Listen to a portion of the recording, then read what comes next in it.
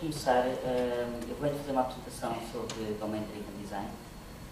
Um, Domain Driven Design é uma, é uma filosofia, uma forma de fazer a abordagem à modulação de domínios, uh, que, é, que, é um, que é um pouco novidade para nós, já, já tem uma quantidade de anos, mas isto continua a ser um bocado novidade, porque nós vamos, viemos de um background de data-driven design, começamos normalmente por modular as nossas aplicações a partir da camada de dados e depois vamos subindo, grande parte das vezes acabamos muitas vezes até por colocar alguma lógica de negócio na camada de apresentação. Uh, e então esta abordagem uh, é um bocado fazer oposição uh, a isso, a essa forma de uh, Portanto, isto não é propriamente uma tecnologia, não é também uma metodologia, é uma, uma filosofia, um conjunto de práticas e um conjunto de padrões de programação e padrões de pensamento.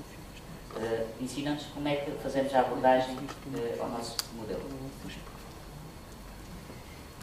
Então, apresentação uh, de mim. Uh, portanto, sou licenciado na Faculdade de Ciências, tenho 12 anos de experiência em tecnologias de informação, comecei a trabalhar muito cedo, aos 18 anos, e, uh, e cada vez mais sou adepto das metodologias ágeis.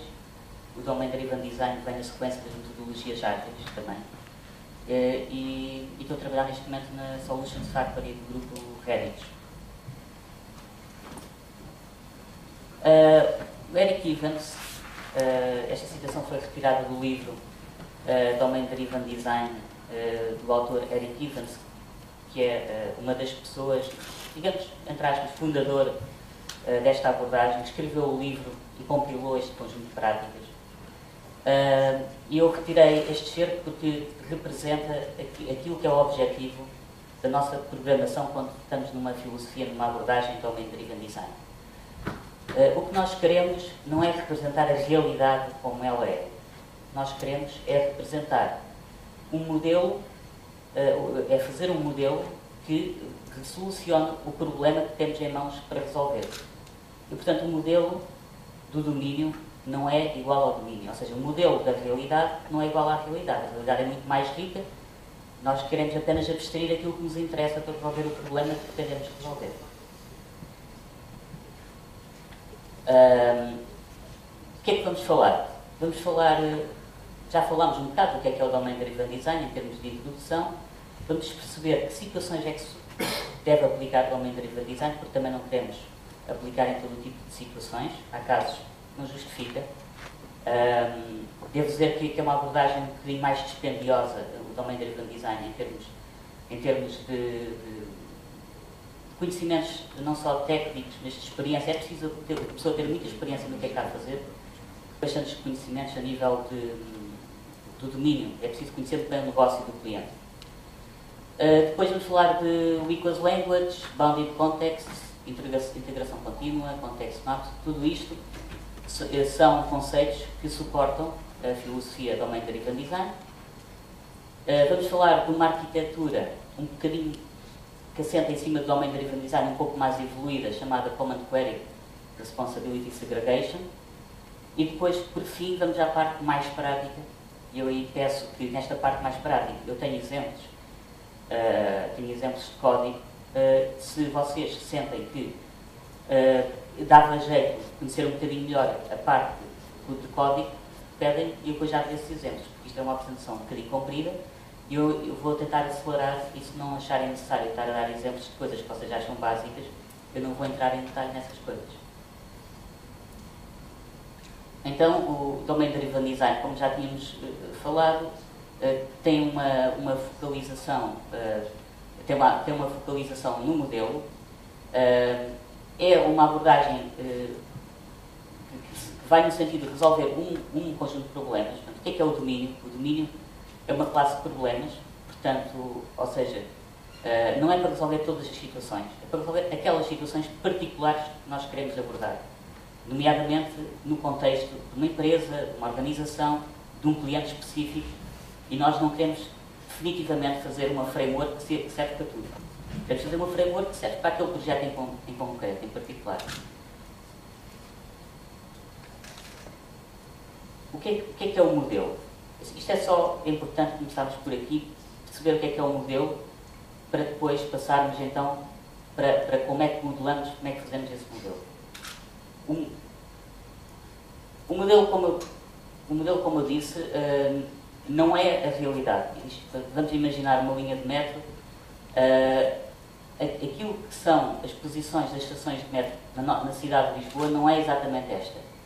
Os, as linhas de metro não são retas, o distanciamento entre estações não é equidistante, mas, no entanto, nós temos este modelo e viajamos de metro perfeitamente, sem problemas nenhums, olhando aqui para este, para este mapa. Portanto, uh, este modelo serve o propósito que se e é uma representação da realidade, uma abstração, que não é exatamente igual à realidade propriamente dita.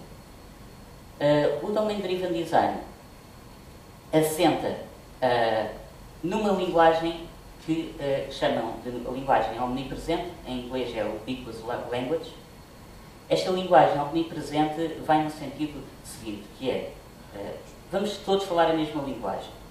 Em vez de termos os peritos do domínio ou do negócio, ou se quiserem o cliente, vez de termos o cliente a falar uma linguagem altamente elaborada em termos de negócio, termos uh, os analistas que depois traduzem aquilo para diagramas uh, do ML.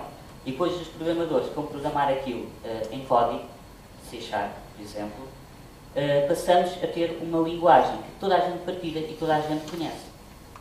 Então, e é no desenvolvimento desta linguagem que vai nascendo o nosso modelo à medida que a linguagem evolui, porquê? porque é que ela vai evoluindo, vai evoluindo porque o cliente vai, vai, vai desenvolvendo melhor o que é que precisa, a nossa linguagem vai evoluindo e nós vamos uh, implementando essa linguagem em código, enquanto programadores que somos, ou peritos de domínio, vamos adaptando a linguagem, vamos enriquecendo o nosso modelo e o nosso modelo vai crescendo e vamos dando feedback ao cliente e o cliente vai voltando a enriquecer mais, com mais vocabulário e nós vamos implementando esse vocabulário novamente no modelo e, portanto, iterativamente, iterativamente o que vai acontecendo é que o modelo vai crescendo.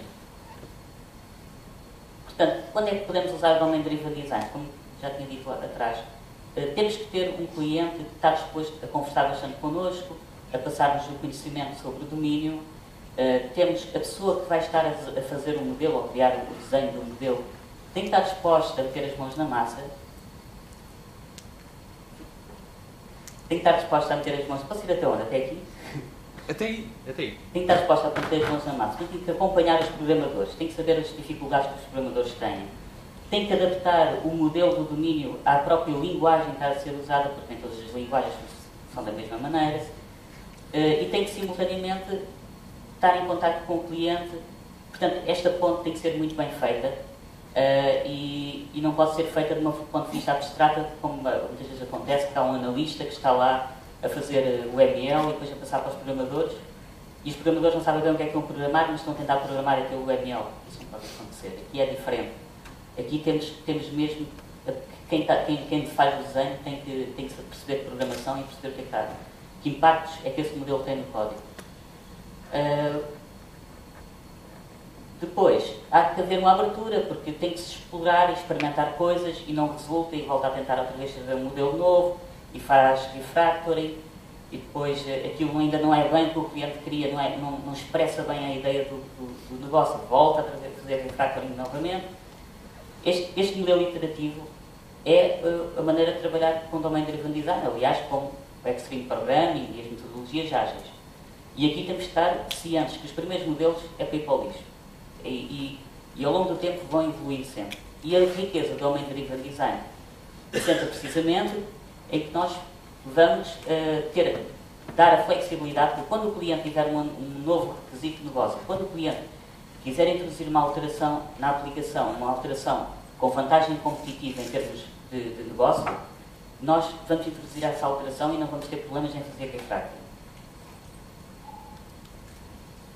O nosso processo baseado na linguagem omnipresente, só, só por uma questão de representação. Portanto, temos aqui, temos o nosso modelo, é um modelo emergente, vai surgir do caos, vai surgir, vai, vai surgir de uma ordem, que é um modelo emergente. Não existe uma metodologia para, para ser um modelo. O modelo vai surgir naturalmente por si mesmo, e depois temos uma, linguagem que vai se enriquecendo à, medida que, à medida que vamos discutindo o assunto, vamos conversando, vamos trocando ideias. Um, a necessidade de todos falarmos a mesma linguagem prende-se com o facto de não haver uh, erros de tradução, uh, não haver conceitos que são perdidos pelo caminho ou que são mal compreendidos. E por isso nós temos que procurar que, quando falamos sobre um assunto, toda a gente sabe do que é que está a ser falado. E há um elemento que faz a ligação entre uns e outros, que é o modelo. Portanto, se o modelo tiver aquele conceito, se toda a gente conhece o modelo, à partida a linguagem vai ser a mesma e uh, isso vai nos facilitar imensa comunicação. E então, através do modelo, o negócio e o código vão uh, casar e vão fazer sentido um com o outro. Depois, obviamente, vai ficar expresso em termos de código esta linguagem. Claro que isto, isto é uma, uma simplificação, isto é uma brincadeira, mas não, não tem que ser assim. Mas digamos que deverá haver alguma correspondência em termos de nomes e de verbos nas nossas classes e nos nossos métodos. Bom, uh, como eu tinha começado logo ao início a dizer, nós temos um contexto, temos um, um projeto que é para um cliente, que é feito por uma determinada empresa, por uma determinada equipa de programadores. Então, uh, nós, não, uh, nós temos que delimitar logo à partida qual é que vai ser o nosso enfoque. Nós não queremos expressar-nos, nós não queremos programadores a fazer uma aplicação generalista, nós não queremos também clientes a pedirem aplicações que fazem tudo. Fazem qualquer coisa e depois logo se vê. Não, não pode ser. Nós estamos a, fazer, a tentar resolver um problema em concreto, como tínhamos dito há bocado. E, portanto, nós temos que definir o nosso contexto. Bounded context significa contextos circunscritos. E, portanto, a primeira coisa que temos que começar por fazer é definir, ok, o nosso contexto começa aqui, tem a esta fronteira e é dentro desta fronteira que nós vamos desenvolver a nossa aplicação.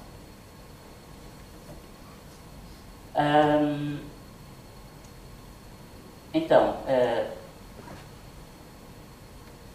no desenvolvimento da nossa aplicação, só, só voltando aqui atrás para fazer uma coisa, ainda sobre, o, sobre os contextos circunscritos.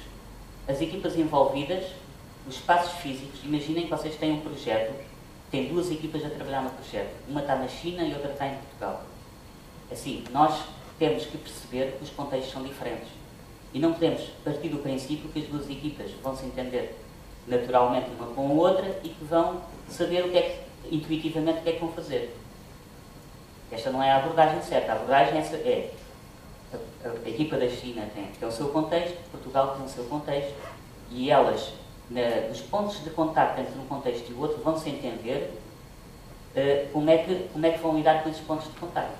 Os pontos de contacto estamos a falar de classes que, se não houvesse este, este, este bounded context, estas classes iriam ficar replicadas no, nas duas equipas, porque eles iam precisar das mesmas coisas e depois às tantas estavam a fazer a mesma coisa. Se nós definimos o contexto logo à partida, as equipas sabem onde é que, onde é que estão em território, digamos, em território de, contacto com outra equipa e quando quando está nessa, nessas, eh, nessas, a trabalhar nesses códigos, nesse código que vai existir em comum, vamos uh, negociar como é que se faz esse código e esse desenvolvimento. Mas sabemos que esse, essa parte está independente da outra equipa também. E se nós implementarmos integração contínua, isso depois vai nos permitir, neste, neste cenário, isto é um cenário, não é, há muitos cenários, há cenários em que é tudo feito da mesma equipa mas se estivermos uh, em trabalho com duas equipas e temos integração contínua em bounded context, significa que, à medida que vão ser feitas, vão, ser, vão se fazer alterações, nós vamos uh, rapidamente tendo feedback uh, de partes de código que foram fragmentadas, deixaram de funcionar porque alguém alterou alguma coisa na outra equipa. Okay? E, e, e, temos, temos um feedback instantâneo que que, que, que nos vai facilitar detectar erros e uh, vai-nos uh, também uh, facilitar, portanto, através dos builds, quando fazemos check-in, por exemplo, fazer um build automático, e vai-nos facilitar também esta integração contínua, correr os testes automaticamente, por exemplo, sempre se faz um check-in, ou uma vez por dia, ou coisa parecida. Um, também, dentro deste, desta questão dos contextos circunscritos, vamos ter necessidade. É normal nas nossas aplicações termos, uh, estarmos a programar dentro do nosso contexto, com a nossa linguagem, e depois interagimos com outros sistemas ou com outros contextos. Então, nós vamos ter necessidade, quando eh, vamos eh, comunicar com os outros contextos, ter a consideração que temos que traduzir aquilo que é a nossa linguagem para a linguagem do contexto ou do sistema externo ou do subsistema que vamos invocar. Em vez de nós estarmos a fazer chamadas diretas do nosso código a outros sistemas que tenham outras linguagens e aí fica tudo misturado, fica uma grande confusão, e também por uma questão que os outros sistemas vão evoluindo e o código vai sendo modificado nos outros sistemas e depois teríamos que alterar o nosso código também. E se tivéssemos esta programação de acesso a outros sistemas dispersa por todo o lado, depois tínhamos que alterar o nosso código também por todo o lado, andar à procura dos pedacinhos de código de divulgação a outros sistemas que nós temos espalhados. Então, por isso, fez o, o context map, o mapeamento do contexto. Ou seja, nós temos no nosso, uh, no nosso modelo uma coisa que é um tradutor e quando nós queremos chamar outros sistemas, invocamos o nosso tradutor, que está escrito na nossa linguagem, com a nossa linguagem omnipresente, e que, vai, e que conhece a outra linguagem e vai traduzir os nossos conceitos para os conceitos de outra linguagem. Eu, pode, podemos, pode ser exemplos disto, se quiserem, depois mais tarde, não vou entrar muito em detalhe neste, não é, não é muito interessante para já, mas podem ver exemplos do contexto map dentro da aplicação. Exemplo que o Eric Evans fez, que é uma aplicação que está na web, vocês podem sacar e podem ver o que é que é um tradutor, como é que funciona um tradutor. E também já agora aconselho a comprar um livro, quiserem algum dia fazer Domain Driven Design, eu acho que o livro realmente é, está muito cheio. Uh, ignorar a persistência é um, também um conceito que é típico do Domain Driven Design. Acho que toda a gente começa a estudar um bocado do Domain Driven Design, bate-se logo neste tema. Não se trata de ignorar totalmente a persistência. Na realidade, trata-se apenas de fazer uma, uma uh, contraposição à, à, abordagem Data-Driven Design. Ou seja, nós queremos, uh, queremos uh, ficar libertados do, do mecanismo de persistência de dados para podermos mais tarde mudar, ou porque queremos fazer testes unitários com facilidade e, e, e, e queremos usar mecanismos que nos permitam abstrair o acesso aos dados. Uh, e para isso nós adotamos frameworks de acesso a dados que sejam minimamente amigáveis com o, com o nosso modelo, que não interfiram demasiado, ou seja, que nos permitam a nós ter as nossas classes de negócio sem estragar o nosso código, ou sem uh, intrometerem-se demasiado no nosso código. Uh, eu, por exemplo, dou-vos aqui o exemplo que o, o, o Hibernate permite-nos ter as nossas classes com pequenas alterações, desde que os métodos sejam virtual e desde que, uh, que, gente, que sigamos e, e tenhamos, enfim, implementação de alguns conversores que, facilitam depois a persistência dos dados, o Hibernate não, é muito, não interfere muito com o nosso modelo de negócio.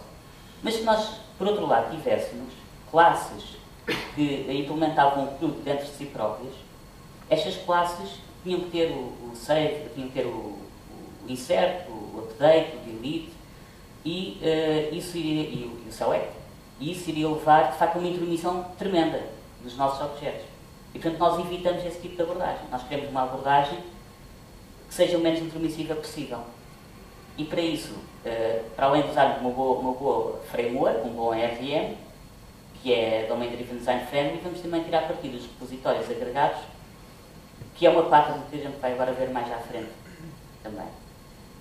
A arquitetura é uma arquitetura quatro camadas que tem uma, em baixo tem uma parte de infraestrutura, que no fundo é os nossos utilitários, habitualmente chamamos de utilitários, ou às vezes chamamos de projeto common, que é partilhado por todos os projetos.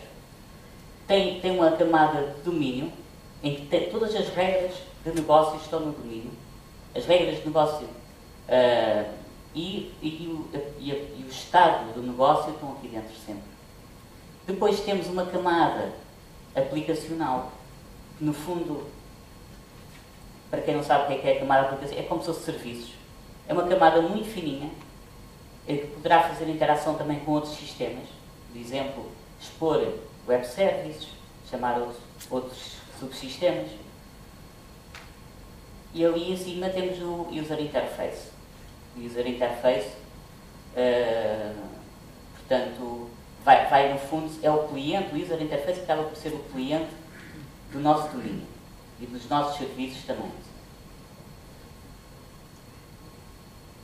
Um, isto vai-vos dar, eu vou, vou, vou deixar portanto, esta apresentação que podem ver em casa, quando quiserem. Uh, facilmente poderão identificar o que é que deve ficar em cada um de, uma das camadas. Por exemplo, na infraestrutura, podemos ter componentes de user interface, uma vez que a infraestrutura serve as camadas superiores todas, portanto, poderá ter isso, poderá ter utilitários, desculpa, poderá ter utilitários, poderá ter hum, funcionalidades genéricas, etc. Domínio, temos a, a, a, lógica, as regras, o estado do negócio, e como vocês sabem, o domínio é o coração da aplicação, portanto é a parte mais, mais fulcral para quem desenvolve Domain Driven Design. Depois vamos ter uma application. Esta application pode ter uma quantidade de coisas. Depende um bocado da nossa criatividade, desde que tenhamos em consideração que é uma camada fina, é uma camada que não deve ter regras de negócio, portanto, poderá ter orquestradores, poderá ter serviços e pode ter tarefas, ou seja, uh, sequências de passos que são uh, agregados numa, num, método ou numa classe que, que depois controla essa sequência de passos, mas que invoca o domínio para a concretizar poderá guardar o, o estado do progresso de uma tarefa, mas nunca guarda o estado do negócio. User interface, quer dizer, não, não vou entrar em detalhes, é apenas para mostrar a informação, interpretar comandos e, e chamar as outras camadas. Uma pergunta rápida, se não te importa. Força. Tu falaste no context map que seria a forma que tu terias de interagir com outros sistemas a partir da tua linguagem ubíqua. Com, com outros contextos. Com outros Podem contextos. ser. Sim, tens razão. Com outros contextos. Nesse caso, onde é que tu implementarias os tradutores? Seria no application ou terias isso na infraestrutura? Eu teria isso, repara, se, eu, se, o meu domínio vai precisar chamar outras, outros contextos, uhum. eu tenho que implementar no meu domínio, porque há um princípio que é uh, a questão das dependências. Uh, ou seja, o meu domínio, o meu domínio é dependente apenas da infraestrutura. Se eu implemento o tradutor no Application Services, eu vou, não vou conseguir. Uhum. Não vou conseguir, a partir do domínio, invocar o, os serviços. Uhum. Só por essa questão, portanto, uh, responde a isso. Mas se eu tiver invocação de outros subsistemas ou sistemas uh, não invocada a partir do meu domínio, ou seja, o que eu quero é que essa, que essa invocação seja feita, mas ao nível de serviços. E se calhar posso pôr dentro dos serviços. Mas é, um, é, um, é diferente e não, é, não, é com, não será a partida com o tradutor, penso. Também, também quero dizer uma coisa. Uh, em termos de Driven Design, já vi as, abordagens mais diferentes umas das outras. Uhum. Uh, isto é um conjunto de princípios, mas depois a implementação prática depende do contexto concreto. Um, há apenas aqui uma coisa que eu não chamei a atenção. Data Access, eu estou a colocá-la, por exemplo, aqui no domínio. Eu estou a imaginar que o Data Access é a minha implementação de Hibernate das minhas classes. Uh, mas, uh, na realidade, na realidade também podia ser na infraestrutura, porque o acesso a dados também pode ser considerado uma questão, algo que fica na, na infraestrutura. Mas como eu, por exemplo, nos meus projetos, acaba por existir uma dependência do domínio, eu não coloco na infraestrutura, porque a infraestrutura não pode depender do domínio. Uma questão também, a mesma questão da questão que tu colocaste. E agora, para finalizar, e já estamos quase a passar à parte mais prática, quanto tempo é que temos ainda? Mais, mais 40 minutos. Ok. Então passamos à parte mais prática, essa é que nos poderá levar um bocadinho mais de tempo. Portanto, existe então a tal arquitetura que eu vos tinha falado, um bocadinho mais evoluída, um bocado mais elaborada. É uma arquitetura que as pessoas têm muitas dúvidas, será que isso funciona, será que não funciona, porque ela é um bocado, um bocado é um bocado assim extravagante, pá, assim dizer. É, um, é complexo.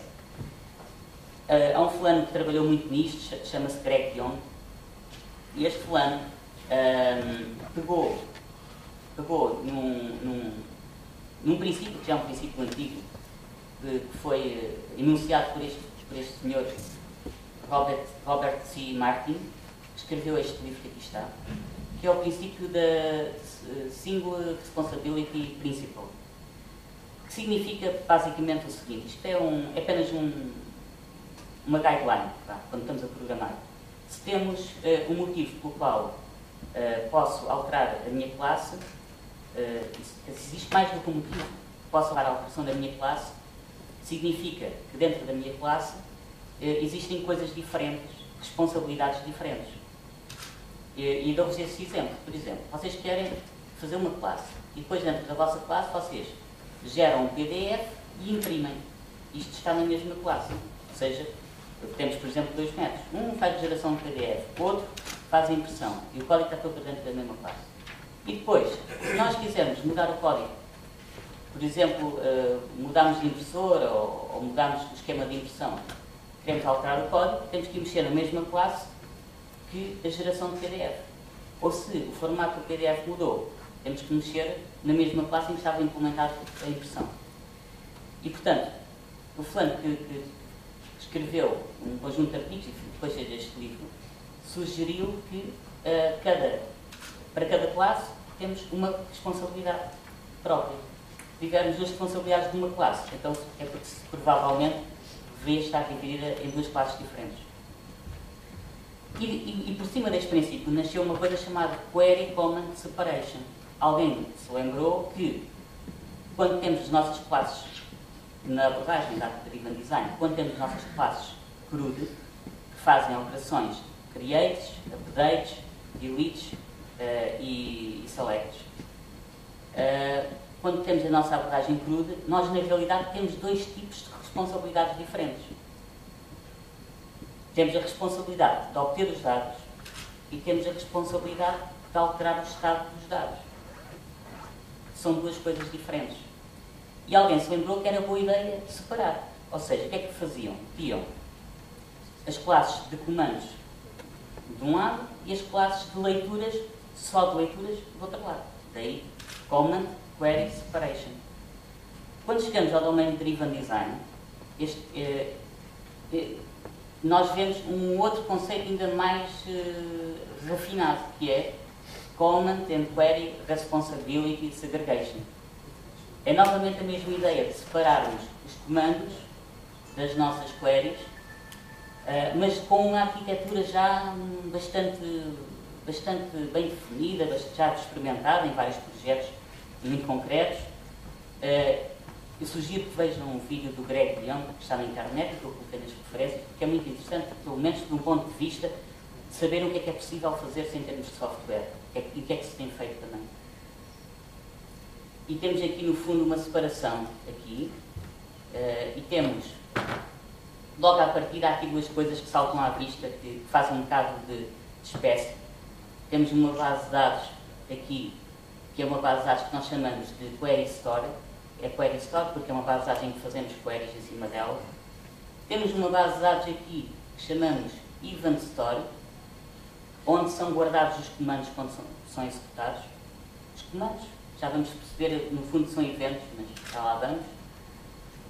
Uh, e pronto, temos aqui o nosso cliente. O nosso cliente pode ser um user interface, pode ser qualquer coisa do género. Uh, o que é que salta aqui à vista? Vou só aqui aproximar-me para aqui para poder explicar melhor.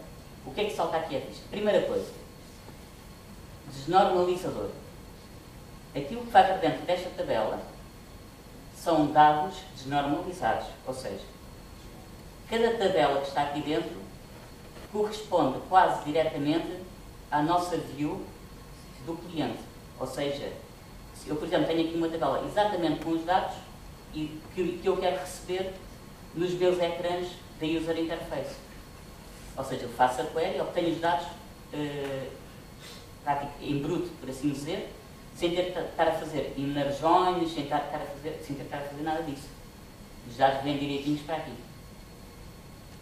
O cliente, o que é que o cliente faz? O cliente executa comandos em cima desses dados, em cima desses ecrãs. O cliente vai, vai executar tarefas que produzem comandos. Os comandos vão ser interpretados pelo domínio. Vão alterar o estado do domínio. E o domínio vai guardar, vai interpretar estes comandos e vai produzir eventos, para, para cada comando que produz um evento. O evento, no fundo, é, é algo que aconteceu. Se nós executamos um comando, aconteceu a ter a vir aquele comando. Os eventos são guardados no Event Store. Eu dou-vos uma, um, uma ideia muito genérica do que é que é um evento. Um evento, por exemplo, vamos meter um, ao supermercado e temos o nosso carrinho de compras e no momento em que tiramos um produto para pôr dentro do carrinho de compras, o evento foi adicionar um produto ao carrinho de compras. A seguir, mais tarde, retiramos o produto, enganamos e vamos trocar por outro. Portanto, houve outro evento foi retirado e houve outro evento foi adicionado outra vez um produto diferente. Isso é colocar no Event Store sequencialmente e uh, de uma forma quase como, for, como, como vocês têm quando querem fazer auditoria. Aconteceu isto, aconteceu aquilo, aconteceu aquilo. Só que esta vez guardam os dados que, têm, que são passados do comando, os parâmetros do comando, os dados que foram que estão relacionados com aquele comando. Quem é que foi a pessoa que adicionou o carrinho de compras? A que horas é que o fez? Qual é que foi o produto que foi adicionado? E por aí fora. É guardado sequencialmente na Event Story mas simultaneamente o evento, para além de ir para a Event Store, o evento vai para um Event Publisher. E o que é que este Event Publisher faz? Transforma este evento, peço desculpa, guarda este evento numa lista de espera para ir sendo processado à medida que, das duas possibilidades. Esta lista de espera vai desnormalizar os dados do evento e vai colocar os dados desnormalizados novamente nas tabelas de query onde são efetuadas as queries. Como podem ver, há aqui um caminho, um percurso brutal, até chegar através aqui às queries. E é isto que as pessoas às vezes criticam um bocadinho, que neste entretanto isto não está atualizado, aqui já está, e portanto as pessoas queixam-se um bocado disto. Mas, eh, este, como eu vos disse, este fulano tem trabalhado muito nisto, o Greg Young, ele tem respostas para isto e tem conseguido sistemas com alta performance porque, como vocês podem reparar, por exemplo, aqui estas queries são, alta, são muito rápidas de processamento, não tem que fazer inner não tem que fazer nada disso, é muito rápido. E estes eventos que são aqui guardados permitem fazer uma quantidade de coisas espetaculares, como, por exemplo, eh, não temos que fazer, ter esforço nenhum para fazer auditoria, porque todos os dados da auditoria estão automaticamente aqui guardados. Business Intelligence aqui em cima é uma maravilha, já temos as tabelas todas preparadas para Business Intelligence.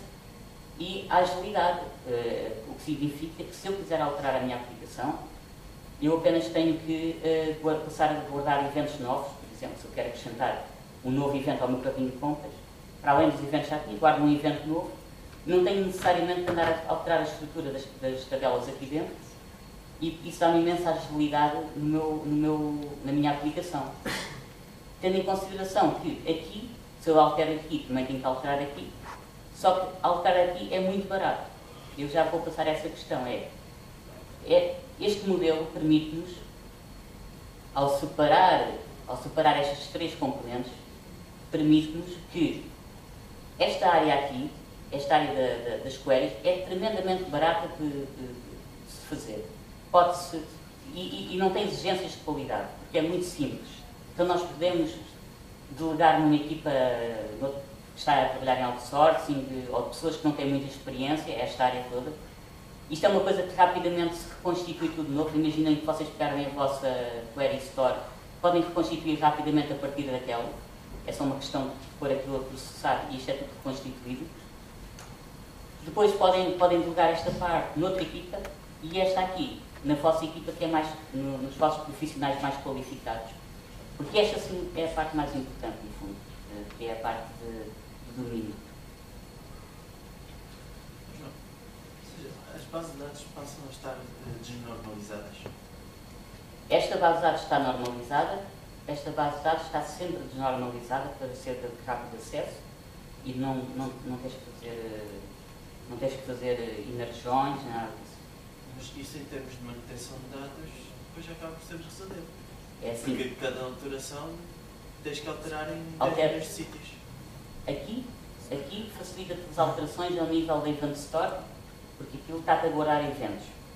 E, se tu crias novos eventos. Eu estou a falar mesmo dos meus dados, os dados que acompanham a minha aplicação.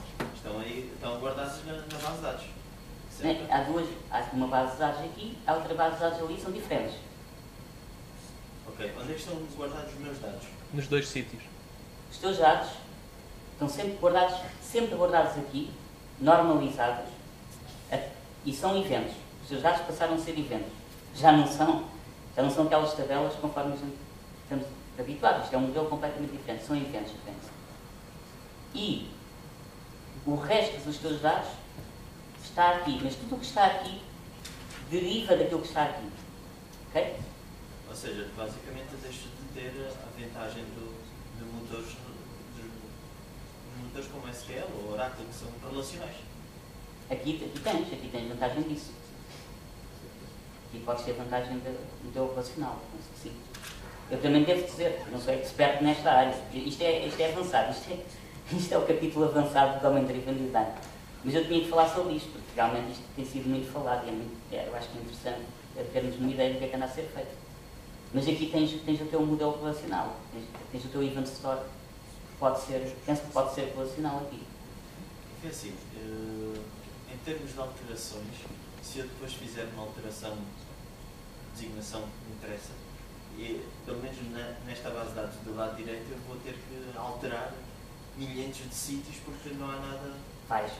É assim, a ideia é a Isso seguinte. tem um custo de, de, de performance A ideia é a seguinte. grande. Eu, sim senhora, tenho que alterar aqui, se calhar, uma quantidade de coisas. Da mesma forma que tenho que alterar nos meus eh, ecrãs de user interface. Mas aí compreendes porque, em qualquer das situações, se alteras a aplicação, tens que alterar o user interface para receber os dados. Não é? Mas aqui, esta parte aqui que tu dizes que talvez desse muito trabalho a alterar, é muito barato, é um custo muito barato. Então tu imagina, se calhar um programador júnior custa tanto, ou melhor, um programador sénior custa tanto como três ou quatro programadores júniores. E isto pode lugar aos programadores júniores, estás a ver? Então tu consegues meter uma equipa em curto espaço de tempo alterar isto muito rapidamente. Como as tabelas não têm exigências em termos de qualidade, a performance é é sempre excelente, está sempre desnormalizado, torna-se extremamente simples.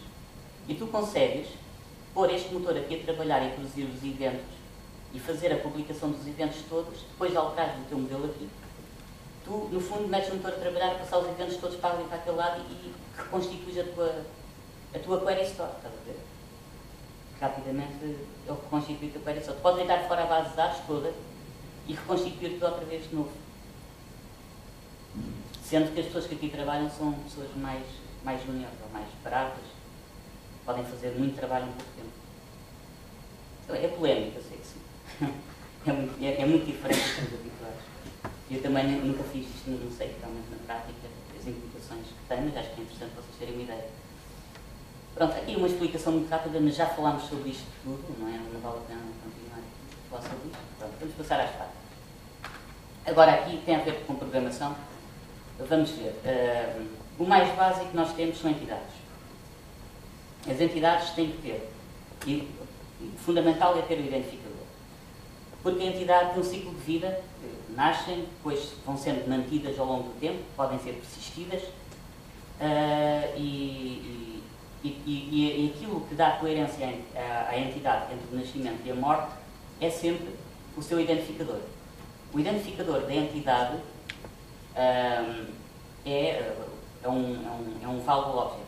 Nós já vamos falar dos value objects. Ah, as entidades são definidas por responsabilidades, por estrutura e por comportamentos. Aqui no Domain Driven Design é importante frisar a parte das responsabilidades e dos comportamentos. Normalmente nós apenas prestamos atenção à estrutura, no fundo são os dados que são guardados lá dentro, mas nós a partir do momento em que começamos a fazer Domain Driven Design temos que olhar para as outras coisas. E nunca temos eh, a persistência programada dentro da, dentro da entidade. Temos sempre a persistência numa classe à parte, que é uma classe que abstrai eh, o acesso aos dados. O exemplo de uma entidade, eh, tem- normalmente em Domain Driven Design, nós identificamos as nossas classes com interfaces. Em- mesmo que esta interface, por acaso aqui tem uma utilidade que é definir que temos que ter implementação deste método. Mas mesmo que não tivéssemos que implementar método nenhum, usamos muitas interfaces como marcadores também, ou seja, dizer que aquela classe é aquilo. Só para isto. Porque uma das características é podermos, é podermos, hum, é podermos ident- identificar facilmente o que é quando a ler o código, rapidamente conseguir identificar o que é que está a ler. Se é uma entidade, se é um agregado, se é um repositório, se é. Portanto, vamos então aos value objects. Os value objects, em, em oposição às entidades, eh, não têm um identificador, portanto o seu ciclo de vida é, é serem criados, serem usados e depois deixamos de precisar deles, eles morrem. Uh, e outra das características que eles têm é que são criados com certos valores, um conjunto de valores iniciais, e os valores mantêm-se e vão ficando sempre até o objeto morrer. Portanto, são imutáveis. Eles não têm setas, têm apenas retas. Uh, e uh, a única coisa que servem realmente é para guardar valores. E quando nós comparamos um value object com outro value object, a forma de comparação é ver os valores que estão lá dentro se são iguais aos valores que estão dentro do outro value object. Se os valores que um value object tem forem iguais aos valores que o outro value object tem, então eles são considerados iguais. Um, nas, entidades, voltando atrás, nas entidades nós comparávamos uma entidade com outra baseada em quê? Elas, para serem iguais, elas tinham que ter o mesmo identificador. Faz sentido, porque o identificador é o elemento que caracteriza a, a, a entidade. Tinham que ter o mesmo identificador tipo. Basicamente, tinham que ser o mesmo tipo de classe também, não é? Já agora. Quando chegamos aos value objects, aquilo que nós comparamos é os valores que estão guardados dentro do value object.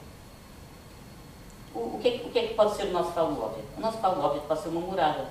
Então, se, o, se a sequência de caracteres que está dentro da morada for a mesma, eles são iguais. Pode ser valores monetários, pode ser códigos postais e podem ser até identificadores de, usados em entidades. Alguém tem, alguém tem dúvida sobre isto? Podemos passar. Os agregados. Os agregados vêm complementar o conceito de entidade. Para explicar a ideia dos agregados é assim. Nós, eh, imaginem que vocês vão, vão, vão ao restaurante e eh, vão almoçar e no fim chega o empregado e pede-vos eh, para pagar a conta. Vocês entregam a vossa carteira ao empregado, ele leva, que é para tirar o dinheiro da carteira e fazer o pagamento. E depois eh, devolves a carteira. Ele é, é uma pessoa honesta. Então vai, entrega-vos a carteira e nem sequer vai perguntar o que é que lá está dentro e está tudo ok.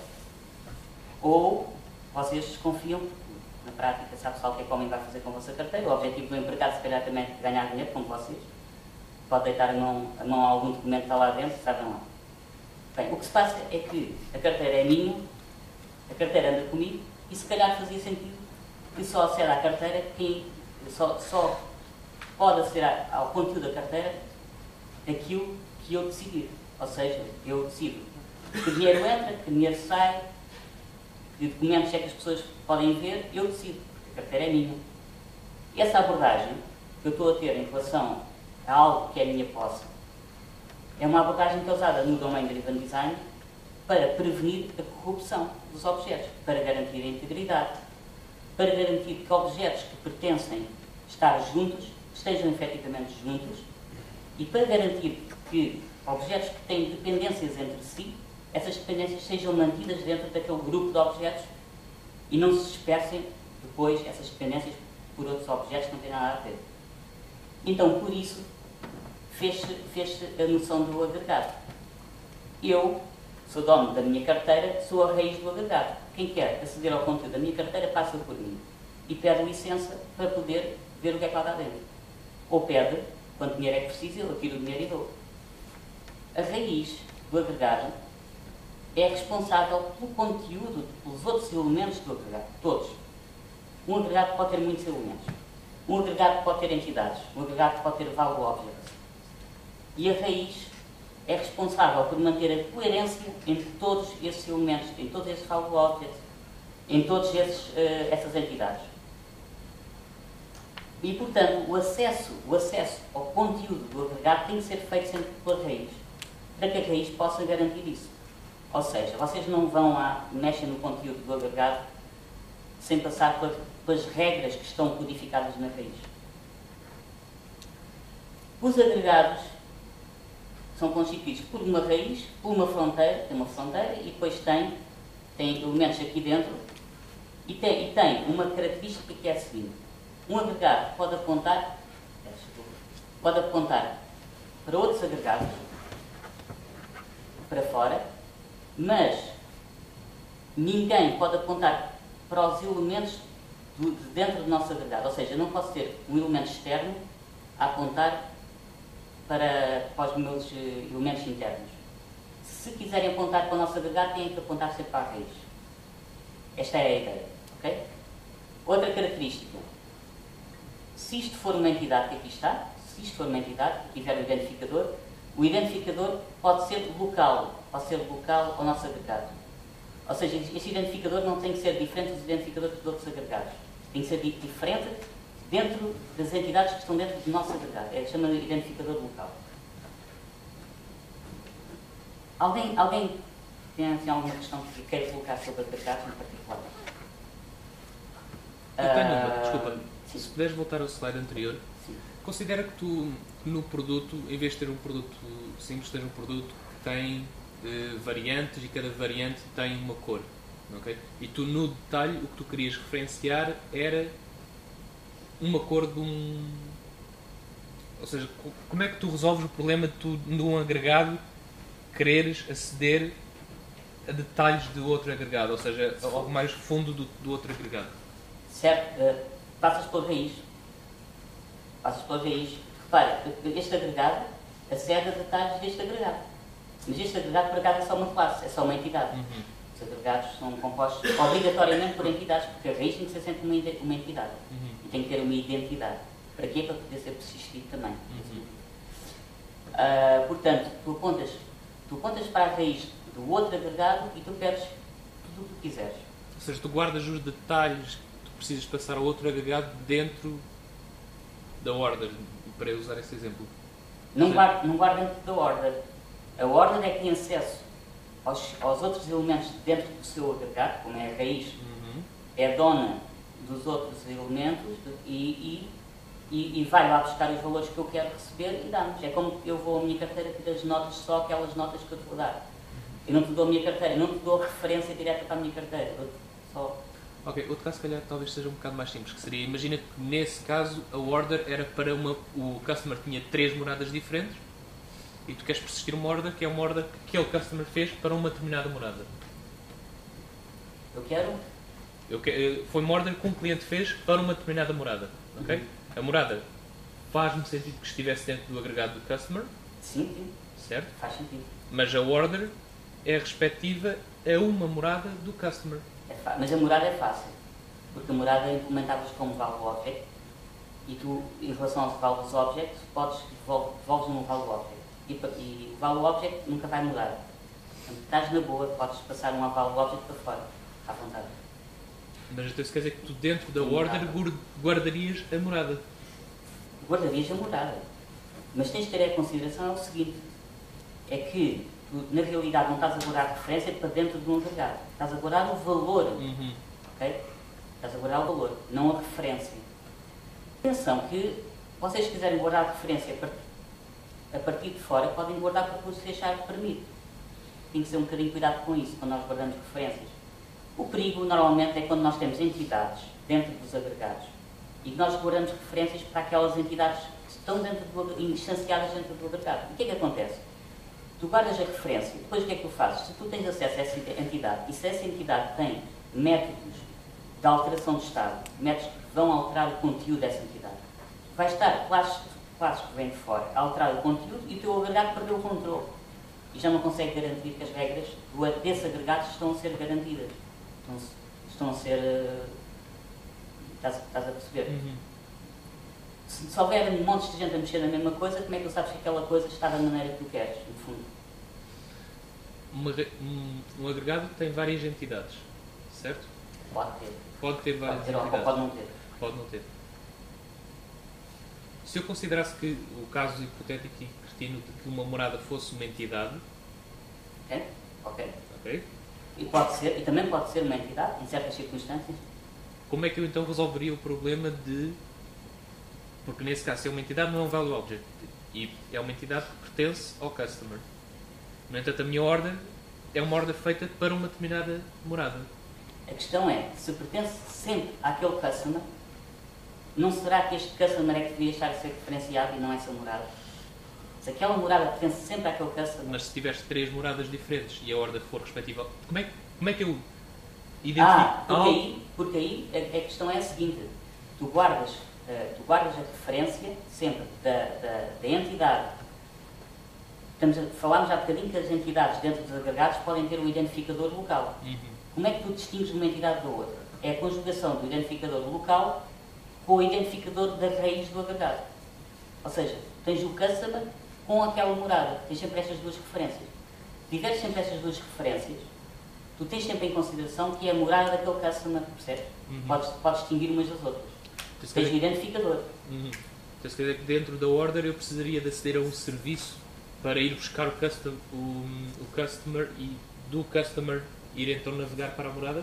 Dentro da ordem, tu queres, o que na realidade tu queres, no fundo, é obter os dados da morada, não é? Uhum. Portanto, dentro, dentro do- da tua ordem, tu tinhas que ter acesso ao customer, basicamente. E tinhas que saber o que é que tinhas que pedir ao customer. Mas, mas no fundo o que ele quer é saber a morada daquele pedido específico. Exatamente. O customer pode ter três moradas, mas Pode ter num três. pedido ele mandou entregar na Ou seja, o, o, customer vai, o customer vai ter um método de ge- de get, get morada, e vai receber um parâmetro, Que é o identificador. poderá ser o identificador local da morada, e tu vais pedir é a morada através do identificador. E guardas, e guardas esse, porque é um valor, aí, aí estamos a falar de um value object, nem sequer estamos a falar de identidade. Se estás a dizer, eu quero isto, Uhum. então uma laixa identificador. Ok. Obrigado. João, basicamente então, eh, dentro dos agregados, para fora do mundo, só existe uma única classe. E todos os outros são classes privadas dentro dessa classe. É como se fosse assim, mas na prática, às vezes, às vezes, passa-se o objeto todo para fora. Podes precisar de um objeto completo para fora. Quer dizer, repara, não vais estar a copiar os valores todos, é passa que tens um objeto completo, ou com muitos campos. Vais estar a copiar os campos todos, não faz sentido. Passas o objeto diretamente Mas para fora. em, em termos. em- Desde que este pode-se passar, objeto- mas em termos de aceder, será sempre assim. A única coisa que eu quero dizer é assim, tu passas, podes passar um objeto para fora, uma entidade, por exemplo, para fora, Por exemplo, Mas-. Mas quem está de fora não pode é andar a mudar os valores de entidade, ou seja, quem está de fora não, não pode ter setas acessíveis. Portanto, quem, quem, É através de agregado pode ter, mas É através de serviços que são mudados eh, os dados de, dentro Não. da raiz do agregado. eh, qual é a pergunta? ideia. Qual é a pergunta? Para tu mudares, para tu mudares os dados conteúdo do conteúdo. Sim, do conteúdo. É, faz, fazes, fazes acedes à API, neste caso a seguires ao teu customer, e o teu customer ia ter set, setters, eh, ia ter, eh, peço desculpa, ia ter classes que iam fazer certos dados. Iam alterar o dado- os dados nas classes internas. Ou seja, para esta morada, set morada. Passava o identificador da morada, o identificador interno da morada, e os valores que tu querias alterar. Seria, seria deste género assim. Sendo que aqui provavelmente o que tu querias não seria um set morada, mas seria algo mais no, na linguagem do domínio, ou seja, change morada, mudar morada Exato. ou, Sim. por por exemplo, se calhar não faria sentido tipo, tu dizeres tipo apagar morada. Porque o que é que seria apagar morada? Para aquele cliente seria desativar. As, por exemplo, se tu apagas uma morada, tu podes ter orders que deixam Pois. de ser válidas, por exemplo. Ok? De modo que deixas de se calhar ter setas, passas a ter métodos que formam ações. Como ele falou, se reparaste, ele falou no início de que na linguagem ubíqua tu tinhas nouns e verbs. E aqui nota-se um bocado isso, ou seja, se tu, se tu fizeres o exercício de abolir o set dos verbos, tu acabas por ter um domínio que fica naturalmente mais rico, porque passas a ter como adicionar morada, eh, coloca order, ok? Ou seja, Sim.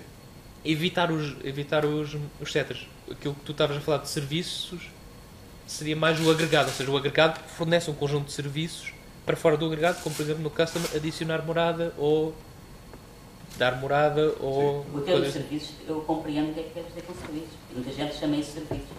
Infelizmente, normalmente, evangelizar usa-se o termo agregado agregado. Mas, no fundo, ele está a prestar serviços. Eu, se der o meu dinheiro, se estiver a pagar a minha conta, estou a prestar o serviço, obviamente. Portanto, é, é, um, é compreensível. não é? E, e depois podemos encadear os agregados uns nos outros. Como vocês sabem, podem ter referências para fora, para outros agregados, para outras raízes.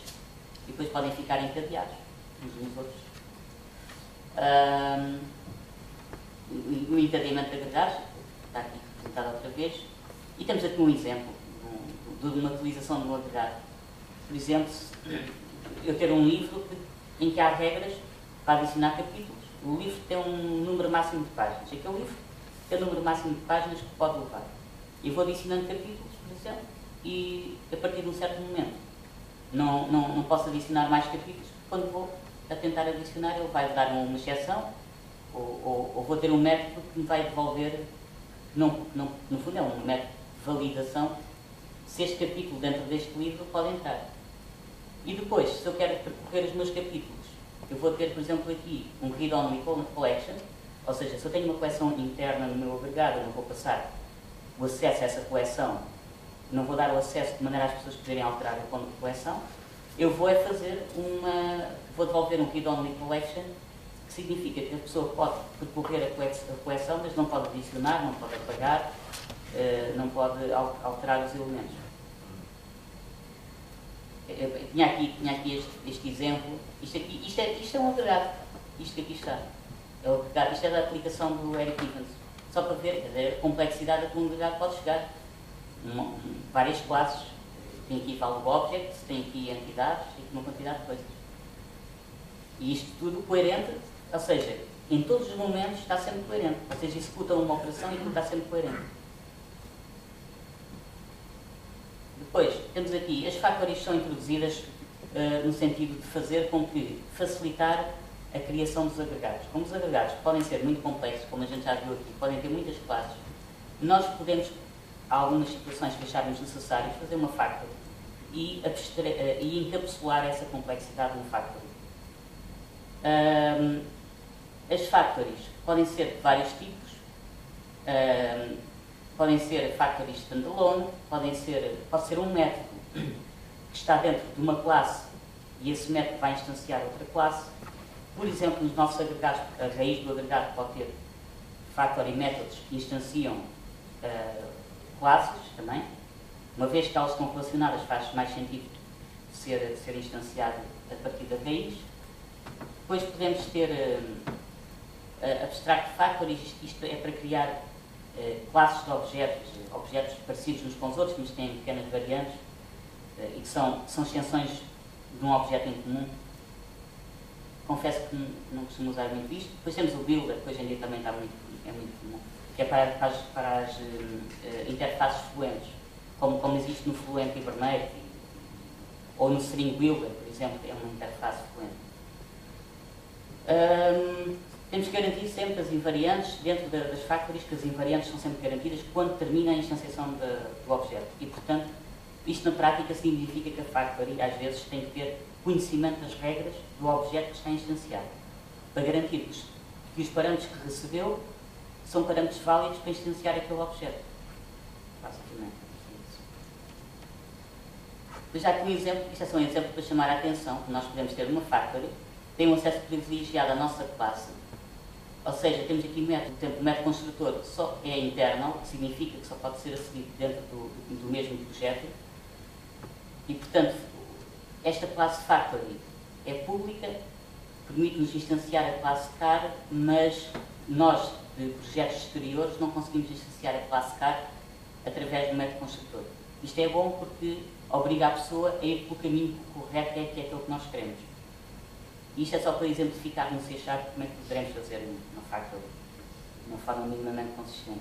É óbvio que não, para uma classe car com, dois, com, dois, com duas propriedades não se faz uma factory, como é evidente. Usa-se o método construtor, não há necessidade nenhuma de método factory. Isto aqui, pronto, isto aqui é a parte que eu acho que, que, que é importante chamar aqui a atenção. Uh, porque os repositórios é a primeira coisa que as pessoas começam a usar no domínio de design e, portanto, uh, os repositórios, de acordo, vamos lá ver, há muitos tipos de repositórios hoje em dia e há muitas abordagens, uh, mas os repositórios, conforme são descritos no livro do Eric Evans, são autênticas collections. É como se fosse uma collection em que nós metemos objetos, podemos fazer um add, podemos fazer o remove e podemos uh, obter o conteúdo, os, os objetos internos, iterar sobre eles ou filtrá-los, por exemplo. Então é assim que funciona o repositório. O repositório é para, basicamente, estas funções, uh, à partida tem este tipo de funções, adicionar, mover, obter, fazer contagem, uh, e depois complementa-se, normalmente complementa-se, se isto for bem implementado, terá de complementar-se com o Unit of Word, que garante a transacionalidade. Nós temos que ter o controle sobre a transacionalidade. Nós, quando trabalhamos com, com o Linkio, uh, temos um data context. Quando trabalhamos com AnyHibernate temos um iSession e tanto o data context como o iSession do AnyHibernate uh, são, no fundo, implementam a pattern Unit of Work. A maioria das pessoas não sabe que se chama Unit of Work. Uh, e são os objetos que garantem que, é transacional. Uh, e, portanto, nós, através do repositório e do Unit of Work, nós conseguimos ter acesso aos dados, alterar os dados e dizer, no momento em que nós queremos, agora faz commit das alterações. Uh, e, e aqui uma citação do livro de Eric Evans que diz basicamente, deixar o controle uh, das transações para o cliente. Portanto, o nosso Unit of Work é ficar comandado pelo cliente do domínio, poderá ser o User Interface. Uh, e depois, a gestão da, das transações será simplificada se o repositório não interferir nos commits e nos rollbacks nessa história das transações. Uh, repositórios, temos um repositório por cada agregado, sempre, ou seja, não temos repositórios de entidades soltas, temos repositórios de agregados, sempre. Se nós queremos persistir uma entidade, então essa entidade tem que ser um agregado, ela própria. Uh, e o, quando devolvemos quando devolvemos no agregado, ele tem que ser válido e estar completo, obviamente. Uh, e os repositórios, enfim, facilitam-nos aquela quantidade de coisas, de fazer os testes e, e facilitar a, a, implementação e até permite fazer uma coisa que é podermos mais tarde ter um, um, um, ponto único no código em que nós afinamos as queries. Como as queries estão toda a gente dos agregados, nós podemos rapidamente ir lá, afinar aquelas queries uh, e, e melhorar a performance. Uma coisa, tu um repositório tem métodos queries, ou seja, dá-me todas as orders. É, tem, no fundo, é como, conforme eu tinha dito há bocado, como é uma representação de uma coleção, não é? Uhum. Feita à semelhança, por assim dizer, de uma coleção, vai ter o get. Só que o get, o repositório é mais rico, vai ter o get por ID, o get por, conforme o tipo de dados, get por parâmetro tal, por parâmetro tal. Basicamente vai ter uh, para, isto é o unit of work, vai, vai ter gets lá dentro e, e, e, vai ter, e não vai ter um get único, vai ter mais do que um get. Só que isto é, é, é a interface, é o básico. Todos têm que ter isto. Portanto, pelo menos vai ter que ter uh, estes básicos, mais os outros gets todos que têm a ver com os parâmetros que vão ter que ser passados. Respondi, respondi à uhum. pergunta? Sim. Pronto. Isto depois tem toda aqui uma lógica por trás. Isto é interessante verem depois, quando disponibilizar a sua cidade, abrir os ficheiros que estão aqui. Isto são ficheiros que vocês podem clicar e abrir e ver como é que é feita a implementação. Uh, atenção aqui para, para uma, um factory method dentro do Unit of Work que instancia o repositório. Se quando ele é instanciado, já vem associado àquela transação. Isto é, isto é Depois temos lá está aqui o professor por agregar. Aqui temos um exemplo, get by ID, get by name, get by city and state, add, etc. Ou seja, temos uma classe de repositório por cada agregado, mas já quem eh, acha que a melhor abordagem é ter um repositório genérico que faz tudo e mais alguma coisa, recebe aqui dentro os critérios de pesquisa e, e devolve, eh, e, e, devolve por ID, mas depois a gente indica qual é o nosso tipo de identificador, se é um inteiro, se o nosso identificador é um string, um inteiro, o que quer que seja. Ou seja, com, com, com, com, com classes genéricas e com, com, métodos genéricos, nós conseguimos fazer muita coisa em termos de repositório uh, e essa abordagem é seguida por muita gente. Eu, eu, eu, eu confesso que prefiro esta abordagem, dá-me mais controle sobre o que é que está a ser feito nos repositórios, mas há muita gente que prefere assim. E se nós usarmos estes métodos genéricos, ainda podemos mais tarde fazer uh, paginação, temos aqui um, um esquema de paginação, que devol podemos devolver os dados preparados para obter páginas específicas daquelas uh, queries, do, por exemplo, do Link ou do Entity Framework, ou, ou até do se estiver, se estiver a trabalhar com, com o por cima. Isto é um exemplo, isto, isto funciona, isto foi, foi sacado da net e pronto, é, é uma forma, uma forma eficaz também de trabalhar. Uh, e, e, finalmente, já estamos quase a chegar ao fim. Pronto, isto é, é, é a pattern, o, acho que é o primeiro pattern que temos aqui, que é a specification. E a, a specification, por um lado, permite complementar o repositório, mas a specification é muito mais do que isso, não é só para os repositórios, é para muito mais coisas. Uh, a specification permite validar se um objeto uh, cumpre certos requisitos. Por exemplo, imaginem aquele meu livro, eu quero adicionar capítulos, então posso verificar se o capítulo que eu estou a adicionar cumpre certos requisitos. A specification pode, é um objeto pode verificar estes requisitos. Por exemplo, uh, uma specification que, que, que, me permita saber se o meu capítulo tem mais do que 20 páginas. Então fazia uma classe chamada book has more than 20 pages. E este, esta classe ia receber o meu capítulo e avaliar o capítulo. A única coisa que ela faz, na prática, é receber um objeto e dizer se este objeto satisfaz aquela especificação em particular. Isto é uma interface, uma specification. Eu recebo aqui um objeto e ele diz-me isto satisfaz ou não satisfaz. Então o que é que isto também permite fazer? Permite, se eu tiver uma coleção de objetos, eu dizer para esta coleção de objetos, dá-me todos que cumpram esta especificação. E aquilo, aquilo filtra, filtra aqueles objetos. Que no fundo faz aquilo que o Limpio também faz muito bem. Só que uh, aqui fica explícito. Esse, essas regras de pesquisa, o que é que faz com que um livro seja aceitável, ou o que é que faz com que um objeto seja aceitável e outro objeto não seja aceitável para, para satisfazer os meus requisitos, fica explícito em termos de linguagem dentro desta classe, em vez de ficar disperso pelo código. Nesse caso não faria mais sentido a especificação ser, ou seja, ser mais na, na linguagem do negócio, ou seja, para dar o teu exemplo de se o livro tem mais de três capítulos, não faria mais sentido se calhar haver uma especificação que seja livro é válido para o, para o publisher? É, exato. E estás a dizer que faz sentido e estás a dizer muito bem. E por exemplo, uh, uma situação do, do, do videoclube da pessoa que vai alugar filmes e a pessoa não entregou o último filme. Uhum. Há uma especificação que diz uh, cliente delinquente. A especificação do cliente delinquente. Uhum. Delinquent customer specification, por exemplo. E então tu aplicas, pegas no teu cliente, aplicas a especificação e ela vai dizer este cliente é delinquente ou não, por exemplo. É, é a mesma coisa. E faz sentido uma especificação também poder ser traduzida para uh, eh, SQL ou para faz. critérios? Faz. Daí, daí que okay. podemos usar a especificação em repositórios, uh, mas uh, é sugerido, eu já encontrei várias abordagens, uma delas era que a especificação devolvesse queries SQL. Eu não gosto, porque acho que o SQL deve ir para o repositório, não deve ficar dispersa pelas, pelas de especificação, e também porque acho que a especificação deve ter a linguagem ubíqua e não deve ter cá coisas de SQL. E, portanto, que, a sugestão que eu encontrei era fazer um parser que ia transformar aquela especificação em SQL. Esse parser, esse parser ia saber traduzir. Ou, ou transformar em SQL, ou em link, ou no N, nas, nas critérios do N vermelho. Era isso que estava a. Mas, tu, mas então tu, na tua abordagem, uma especificação é uma coisa que apenas corre dentro do domínio e que nunca é passada para, para a camada de persistência para ela filtrar. Podia ser passada para o repositório.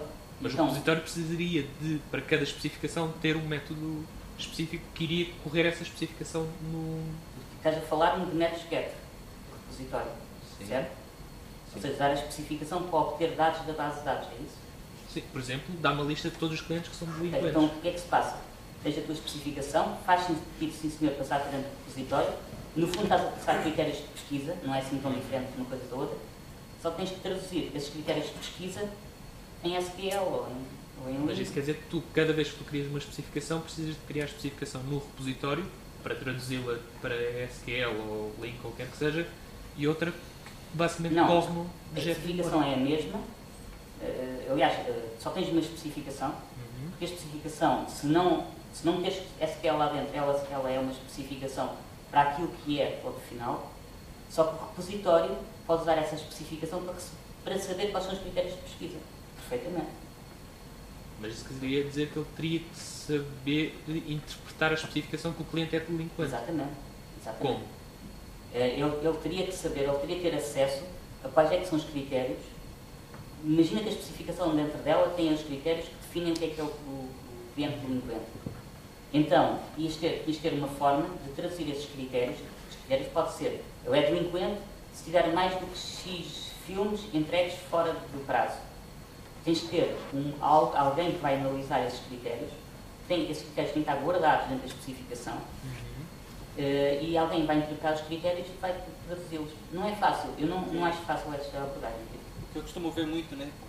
Nas aplicações que usam specification, eles montam uma expression tree dentro da specification Uhum. e o repositório só pega essa expression tree, manda para o link e aquilo traduz. O que eu, costumo, o que eu tenho estado a fazer, e para nós tem é tido, ba- tem tido bastante sucesso, é as, no- as minhas especificações não são persistent, não, são, não abstraem a persistência, ou seja, as minhas especificações sabem que eu uso Hibernate e o que eu faço é ele constrói criteria Também, também serve. ah, é e mesma coisa. Eu na realidade constrói especificações e tenho coisas pequenas como por exemplo o cliente tem menos do que 3 livros, não é usado pela camada final, mas é usado para compor outros critérios. Uhum. e na especificação em si eu, eu tenho um método que me diz, olha, dá-me o critério de Hibernate que me permite correr esta Ok, está certo, está uma abordagem certa e isto, inclusivamente, está descrita no livro do Eric Evans, essa tua abordagem, e portanto está correta. Só que o Eric Evans também diz, também, também li esse livro, mas ele também diz, eh, é, um, é um bocado rebuscado. Pronto. A minha questão é mesmo uma questão de pragmatismo que é ser ignorante de persistência é interessante, mas até um certo ponto. E na apresentação, na última das apresentações que ele faz, que é um, que é um revisitar do Homem Driven Design, agora ao fim de uma quantidade de anos, Uhum. depois de dar muitas palestras, ele, ele, há uma quantidade de coisas que ele flexibiliza, como é Uhum. Nós temos que nos flexibilizar, temos que. Nós não queremos que a tecnologia contamine o domínio, mas o domínio também não tem que ser tão inflexível que nenhuma tecnologia funciona com ele. Uhum. Não é? acima de tudo é por uma questão de pragmatismo e de questões de performance, que é se toda a aplicação for ignorante de persistência, também ignora qualquer. É, torna-se muito mais complicado de, de obter boas características de performance. Essa mínima é a minha experiência, pode estar um bocado conspurcada pelo facto de não, não dominar tão bem quanto isso. Eu tenho, é a tal situação. Ele diz: vamos ser um bocado flexíveis. Ok.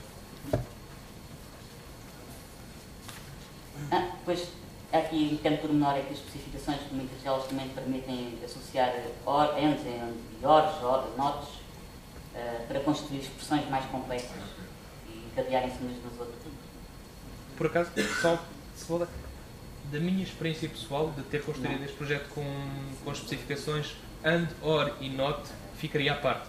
Porque eu tenho mesmo muitas especificações, ou seja, estamos a falar de há de voltar 20 ou 30 especificações e se em cada uma delas eu tiver que ou herdar de um abstrato ou implementar o and, or e not, torna-se muito mais complexo. Enquanto se eu tiver Não uma especificação. encadear e depois obter as tais características de. Po- Posso encadear através de extension methods, porque na realidade o and, or e not não tem nada a ver com a especificação, é uma coisa, é uma combinação que pode ser feita à parte. Mais uma vez, no cliente ou no. ao nível do domínio ou do serviço, ou seja, eu consigo construir o critério à parte disso. E a minha experiência pessoal é de que esses ands, essas operações booleanas ficam ou em extension methods ou tenho mesmo uma especificação que é que combina estas duas, para evitar ter que estar a duplicar esse código numa data de especificações. Ok. A especificação fica dentro do repositório, fica no agregado. A especificação fica dentro, fica dentro do. É uma, a especificação fica ao nível do domínio. A especificação não tem que ficar. Penso que não tem que ficar dentro de, de nenhum agregado, pessoal. É um, é um artefacto tecnológico que tu usas para, para, para fazer queries, É, está ao nível do repositório. O repositório está dentro do agregado? Não, nunca está dentro do agregado do repositório.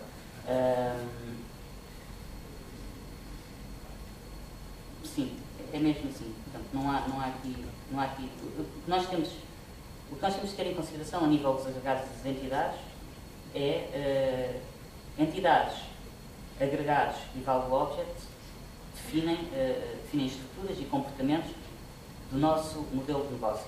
Os repositórios, repositórios, especificações ahm, e unit of works são eh, elementos auxiliares para atingirmos o nosso objetivo. Mas não são necessariamente, no nosso negócio não há, não há necessariamente repositórios. É uma coisa que é, que é para- Sim, percebo. para ajudar. Queria saber em que ponto é que a gente especificações. Em que ponto é que chamamos? Ah, sim, para serem usadas dentro dos agregados, exatamente, para serem usadas dentro dos repositórios. Pode. Por outro lado, se pode. Repositório é domínio ou é infraestrutura? Repositório, ah, isso é aquilo que já tínhamos falado lá atrás, não sei se quer dizer até lá. É aquela história aqui. É data access? É muito para trás. É aquela história que tínhamos falado aqui na, na arquitetura, não é?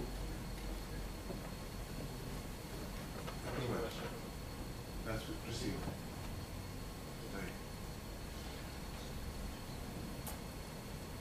Tem. Isto. Fica- Isto fica, isto fica aqui, fica aqui no domínio ou fica na infraestrutura? Eu ponho no domínio, porque tenho dependência, uma dependência do meu Anybernet para o meu domínio. O meu Anybernet tem que conhecer o meu domínio. Eu ponho no domínio, mas, já, mas no, no, no exemplo do Eric Evans, está na infraestrutura. Eu utilizo a XML e tal, e consigo abstrair aquilo correio na infraestrutura. Está bem, acho que está bem das duas maneiras. Já estamos no fim, portanto, vou só terminar. Caio, Caio não perdoa, portanto.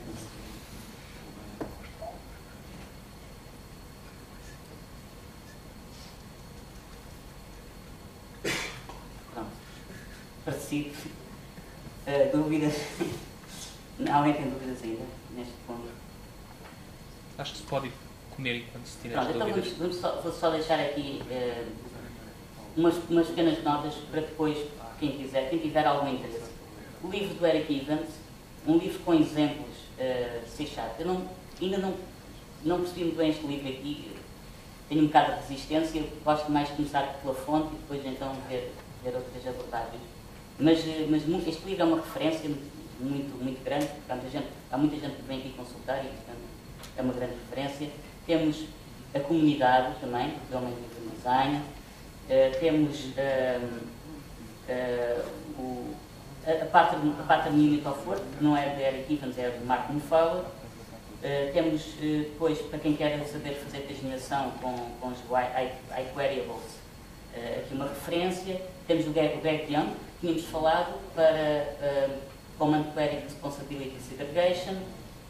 Temos com, com o vídeo, o vídeo vale a pena ver, aconselho vivamente. Eh, temos os exemplos ah, em linguagem Java. Este é o original, o exemplo original, feito por, pelo, pela equipa do Eric Evans. Eh, temos aqui eh, um, exemplo traduzido para C Sharp, que está no, no- Google. Eh, temos outro exemplo também, eh, está no Codeplex. E depois temos o Rhino Commons, que implementa eh, e que é usado em vários projetos, que implementa repositórios já mais ou menos preparados, que eu não gosto muito deles porque têm, são repositórios que fazem commits e fazem transações dentro dos repositórios. E por, isso, por esse motivo não os costumo utilizar, mas já muita gente vem aqui buscar. E pronto, patrocinadores.